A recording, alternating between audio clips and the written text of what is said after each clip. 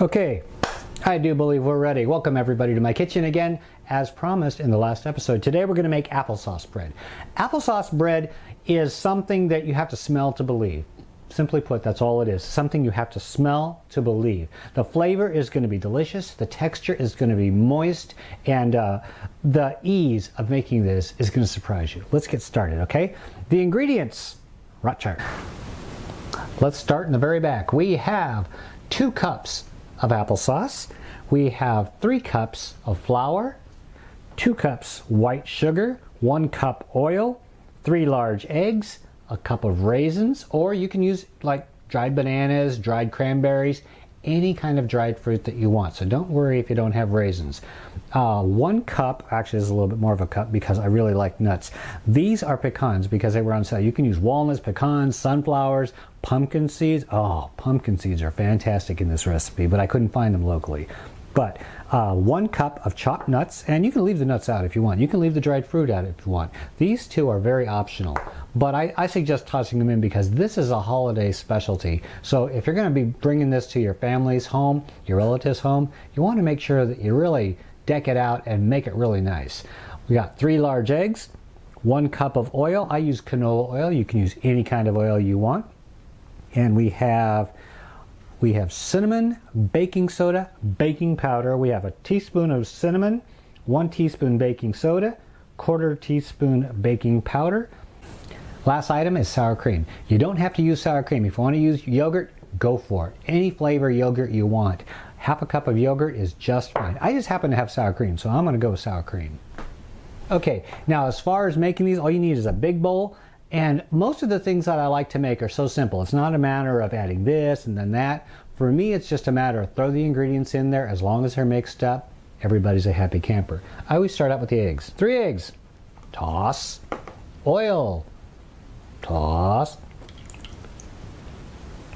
Stay there. Okay, don't nobody move. Beat up the eggs. Let's see, what do I want to throw in next? Yeah, what the heck. Let's throw in the spices it really doesn't matter. I've never really understood, you know, except for making bread or, you know, something just like a souffle.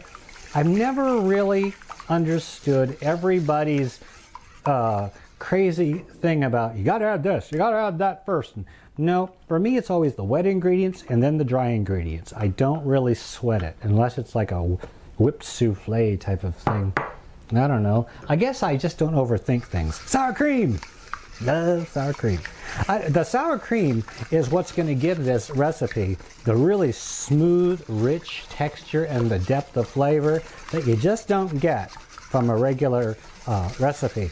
I, uh, you know, for those of you that are lactose intolerant, whoa, that kind of sucks. But I'm sure that there's something out there that you could use if you're lactose intolerant.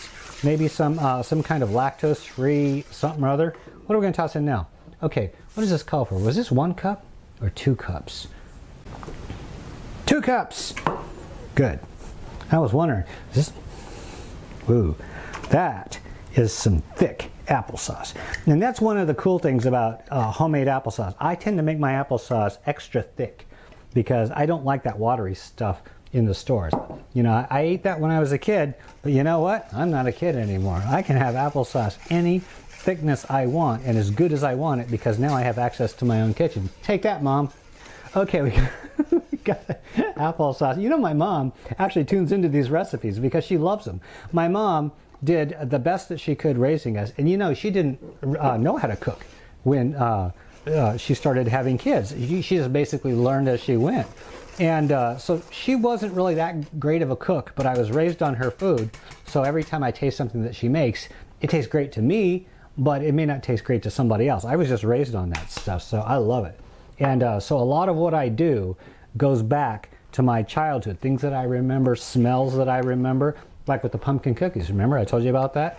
Uh, my enchilada recipe, my tostada recipe, corners, all of those recipes date back to my childhood.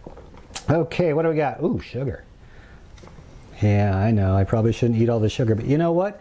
This is not something that I eat every day. This is a holiday treat. So I really don't sweat it because in my life, everything is a balance to me. You know, I eat sugary things if I want to. I drink a Diet Coke if I want to.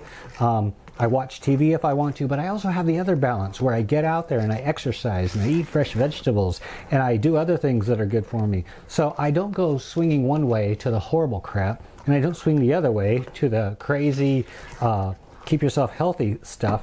I find a balance in between and it just seems to work good for me. Okay, everything's all mixed in. I don't have you up close here because I really don't see the need for you to actually see the stuff going into the bowl. You know it's going into the bowl. Oh, wow. I should actually use this. Okay, now we take the flour, add it slow, wipe the sides as we go. Okay, I think we pretty much got it mixed up. It only took a couple minutes. Yeah, it's just that easy. I'm gonna flip the oven on to 350 and then we'll get this into pans and get to baking. Done deal. Now, we're going to get to putting it in a pan. I prefer using Teflon pans. That's just my preference. If you want to use like a cast iron skillet, that's fine. If you want to use some other kind of baking container, that's fine. Most people use a loaf pan. They also sell at Walmart and other stores mini loaves. I love this because then you can make like little mini loaves of applesauce cake and you can put it on a, on a plate, cover it up, bring it to dinner like on Thanksgiving or any kind of uh, occasion. Just put it there and everybody grabs their own little loaf of bread, spread a little butter on it, and oh, it's a happy day. So I got this, I got this. You can do it any way you want. You can even use muffin tins if you want, but make sure you can either use butter, you can use oil, you can use spray on stuff. Make sure that you grease and flour them first. Otherwise, you run a risk of having it stick in, in the pan and that will definitely ruin your day. So I'm going to take this over to the trash and over the trash can I'm going to spray them and dust them with a little bit of uh, flour and then come back here and start filling them up. I don't like to spray them over here because all that spray goes all over the kitchen and then you get that greasy stickiness stuff. I prefer to do it over the trash can or outside. Be right back.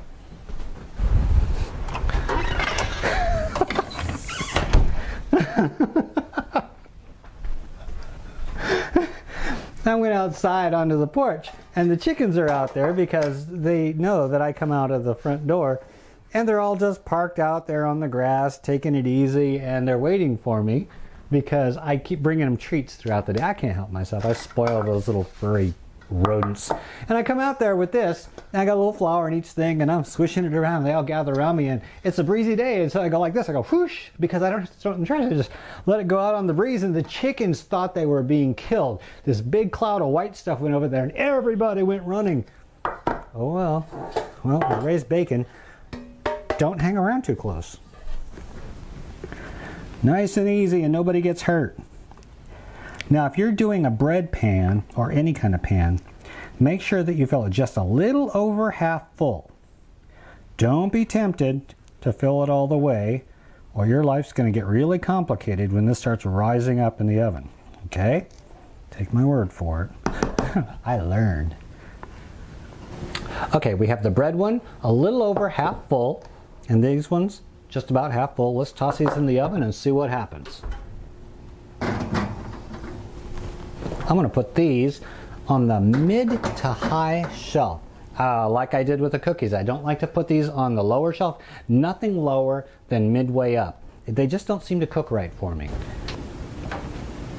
Okay, we have the timer set for 25 minutes. Normally, I would cook a loaf of this for 45 minutes and then it would be just about done. Whenever you stick a toothpick in and it comes out clean, it's done. Plus at the very top of the loaf, generally with banana breads, applesauce breads and things like that, the top will start to crack a little bit when it's done. That's generally how you know it's about done. Then you stick the toothpick in, if it comes out clean, you're set to rock and roll. But with the little loaves, you want to go for less time because little loaves cook a lot faster.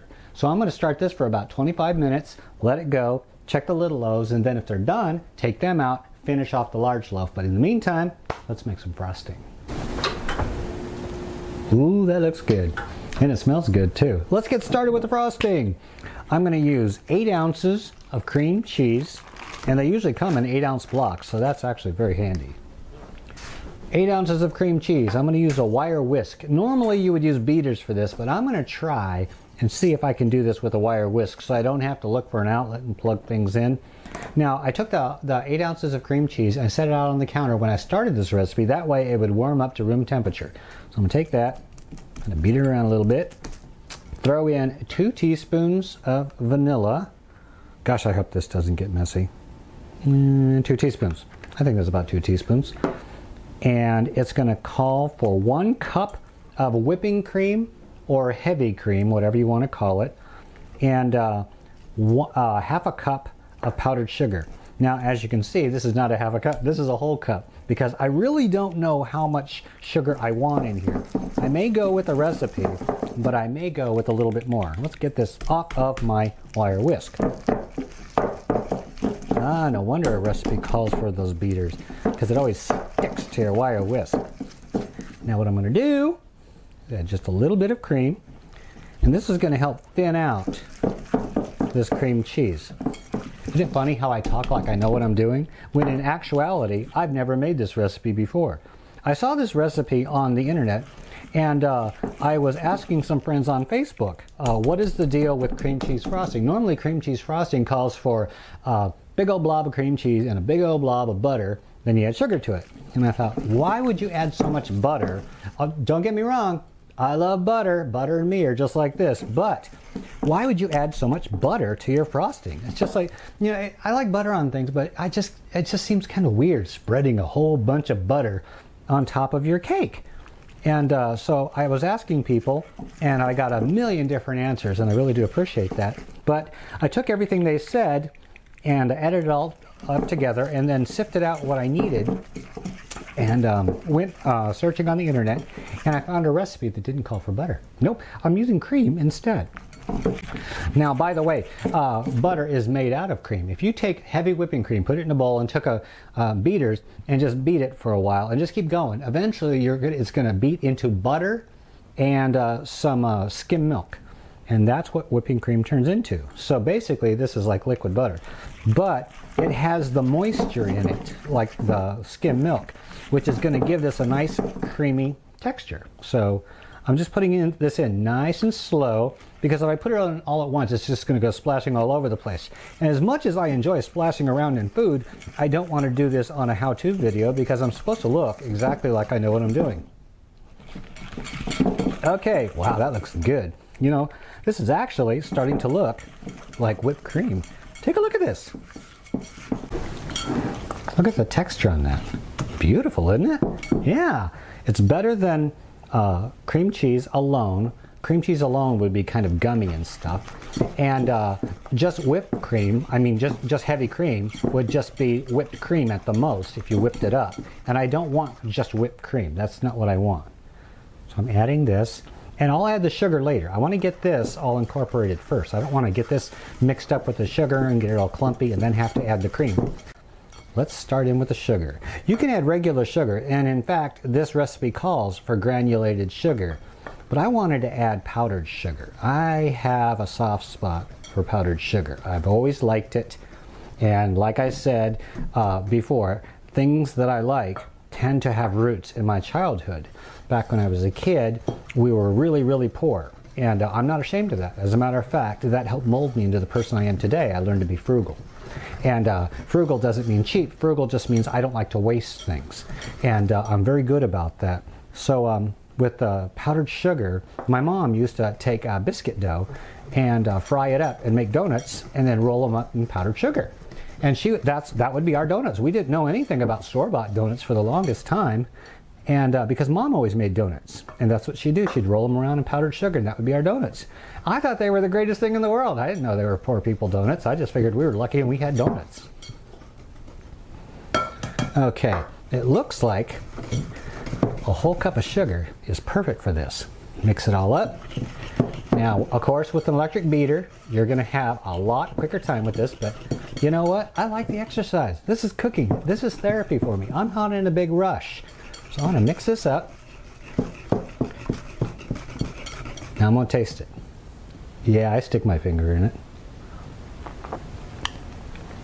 Oh, that, stick your finger in here. That is wonderful. It has a smooth, rich cream cheese flavor. And of course, the, the whipping cream brings out the smoothness in it, and the sugar is just right. It's not too sweet.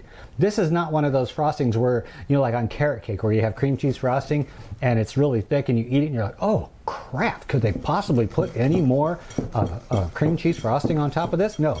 This is a very lightly sweet, not very sweet. A whole cup of powdered sugar sounds like a lot, but it really isn't.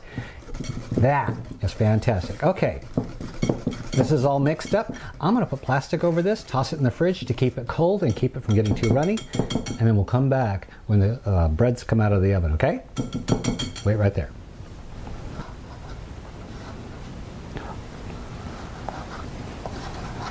Oh yeah, these are coming out beautifully. Just hit them on each side with a little rubber spatula or a metal spatula or a butter knife, whatever you got. Bottom, top, beautiful. Little personal size loaves of applesauce cake. And we're going to set this aside. The large loaf should be done in about another 10 minutes. Yeehaw, thank goodness for a timer. I almost forgot about this. oh, nice. You know, the golden brown color is really a nice added bonus to this. Take a look. Remember I mentioned that it would crack along the top? Yep, that's what it did. Now, I'm going to stick the toothpick in there just for the heck of it, right in the center. You always want to do it in the center. Let it sit there for a second and bring it back out. That's what you want to see. Nothing. This is perfectly done. We are going to let this set for about maybe 10 minutes. The little ones we let set for 5 minutes because they're smaller and they cool faster. Let this set for about 10 to 15 minutes just to cool down and to settle because you don't want it breaking apart or anything. When it sets, it gets a little bit more firm and it's easier to take out of here to cool. Let's just let it set. We'll be back in about 15 minutes to finish this all up. Ah, it turned out perfect. And uh, you know, with this recipe, you really don't have to worry about is this going to turn out, is it not going to turn out. I've made this in a regular oven, I've made it in a convection oven, I've made it in large pans, small pans. It never really mattered, it always turned out good. So I have a lot of confidence in this recipe. Let's see if this will pop out of a pan without falling to pieces, okay? Oh, fantastic. Nice and hot. Now I'm going to let this set on a wire rack that allows the air to come underneath it. If you don't have a wire rack, just set it on like a cloth, like a take a towel and fold it into a bunch of pieces to keep it insulated from here. You don't want to set it right on a counter or right on anything um, metal or like a plate because it's going to gather moisture underneath. You want it to dry out a little bit around the edges to, so it won't get so mushy and that'll help it cool a lot quicker. I got to break one of these open. See what they look like. What do you think? Yep. Oh, the smell is fantastic. They're soft. Check this out. Soft, spongy, sweet. Mmm. And the outside crust has just a little, little bit of crunch on it. Absolutely perfect. Is that a nice looking frosting or what? Yeah, nice and smooth, very spreadable. Take one of these and make sure that these are definitely cooled down before you put the frosting on. Otherwise, it's just going to melt and go all over the place, which I guess wouldn't be such a bad thing. And as soon as I frost these, I'm going to toss these in the fridge, let the frosting toughen up a little bit, and then if you want to, you can set these on a sheet pan, put them in the freezer, let them freeze, and then put them in a container, snap the lid on, and you have frosted, ready to go applesauce bread ready to serve. Anyway, uh, next year, if you'd like to go along with me when I make applesauce, I'll uh, make applesauce on a program for you, and that way you can have your own homemade applesauce, whether it's homegrown apples or store-bought apples. Anybody can make applesauce. Quick and easy. Toss it into a uh, mason jar, can it, very simple to do. Anybody can do it. And that way you can have applesauce bread any time of the year you want. Okay, I got to get going. I got a lot of stuff to do. I got a lot of dishes to wash. Holy cow. There's a lot of dishes over there. But um, it was fun. It was definitely worth it. Thank you for joining me for my first two recipes in my kitchen my cookies, my bread. It was a good time. It was a really good time. Thanks, everybody, and have a great day. Bye.